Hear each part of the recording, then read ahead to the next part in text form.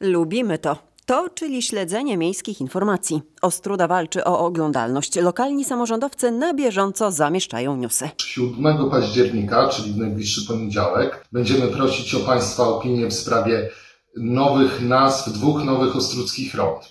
Z początkiem października przewodniczący Rady Miejskiej w Ostrudzie opublikował post o zbliżających się konsultacjach społecznych. Pierwszego ronda u zbiegu ulic Olsztyńskiej i Mickiewicza. Tam propozycje nazw są trzy. Rondo Reformacji, Rondo Miast Partnerskich i Rondo Boba Marleya.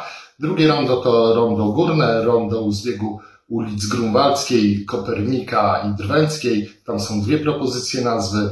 Rondo Weteranów Misji Zagranicznych oraz Rondo Wielkiej Orkiestry Świątecznej Pomocy.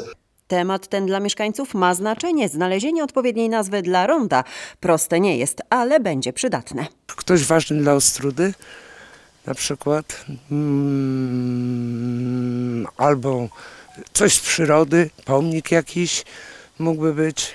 Nie wiem, nie mam pojęcia jak ją nazwać. Mówię pani serio, no żebym wiedział, to bym powiedział. Dobrze, bo będę wiedziała, gdzie jechać, po prostu. No, jak Kaśka, to jadę na Kaśkę. Pod naszą sondą przeprowadzoną we wrześniu na Facebooku Telewizji Mazury pojawiło się kilka fajnych propozycji w komentarzach. Rondo koło netto nazwałabym rondem Gizewiusza.